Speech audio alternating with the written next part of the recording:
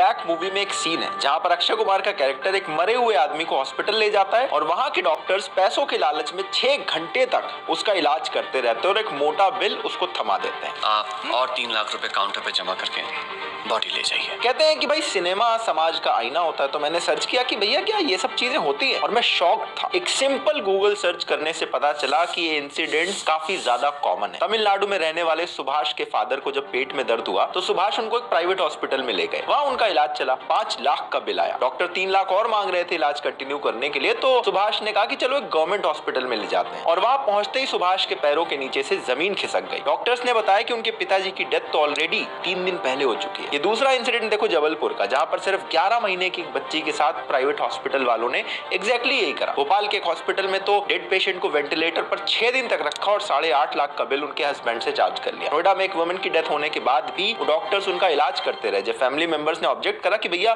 Patient तो blink तक नहीं कर पा रहे, आँखें उनकी खुली हुई है तो तीन घंटे बाद डॉक्टर्स ने पेशेंट को डेड डिक्लेयर कर दिया और हॉस्पिटल ने साढ़े छह लाख का बिल इन्हें भी थमा दिया। ऐसी न्यूज़ अगर आप सर्च करो तो यूपी हरियाणा तमिलनाडु ऑलमोस्ट हर एक स्टेट से आपको मिल जाएगी। और ये सब कुछ देख के ऑनेस्टली मैं शॉक था। तो मैंने प्राइवेट हॉस्पिटल्स के बाकी इश्यूज़ पर एक डीप रिसर्च करनी शुरू करी और जो कुछ मुझे दिखा वो इतना शॉकिंग और कंसर्निंग है कि मैं आपको क्या बताऊँ। इसीलिए ये सारा कुछ मैं इस वीडियो के फॉर्म में आपको बताने वाला हूँ। तो प्लीज़ इसे एंड तक देखना और ज़्यादा से ज़्यादा इसे आगे शेयर भी करना। एक बड़ा फ़ेमस कोट है, भारत का मिडिल क्लास बस एक मेडिकल बिल की वजह से पॉवर्टी लाइन से नीचे जा सकता है। और आज के टाइम पर यह बात एक फैक्ट बन चुकी है। आठ से नौ परसेंट इंडियन फैमिलीज़ एक मेडिकल बिल की वजह से गरीब हो जाती है। और ऐसा इसलिए होता है क्योंकि सत्तर परसेंट इंडियन प्राइवेट हॉस्पिटल पर ही डिपेंडेंट है। ऑलमोस्ट 63 परसेंट इंडियंस के पास कोई हेल्थ इंश्योरेंस तक नहीं है। इसका मतलब है कि जो महँगे हॉस्पिटल बिल इन लोगों को अपनी जेब से भरने पड़ते हैं। लेकिन ये हॉस्पिटल बिल आखिर कितने महँगे हैं? वेल काफ़ी ज़्यादा। एक रिपोर्ट दिखाता हूँ। अभी लास्ट ईयर कॉम्पिटिशन